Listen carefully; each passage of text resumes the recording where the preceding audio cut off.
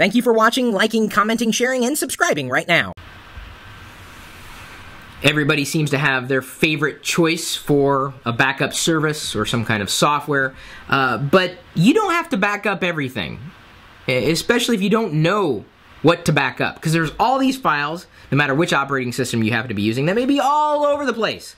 So we thought, well, why not help people uh, realize they don't have to back up everything? So we've done an article on lockergnome.com, linked in the description, what to include in a backup and how to do it.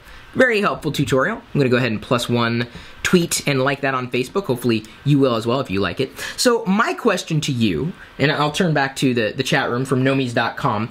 Uh, which files do you believe are crucial in a backup? And yes, I think there's the obvious uh, photos, videos, uh, documents, but what files are so obscure that people might miss them and then realize they're missing them.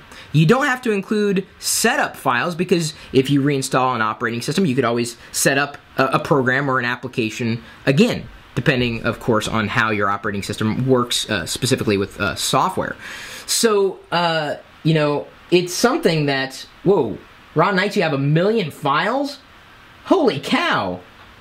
Financials, Stacy Ferris, there's something important to note. Exactly. Financials, taxes, anything that's related to your money, uh, bookmarks, local email. See, here's the thing with email though. I keep most of it on the server. Um, I use an Exchange server, and so I don't have to worry about backing up email. Uh, Florida, you should always back up. you don't back up Florida, it's a state.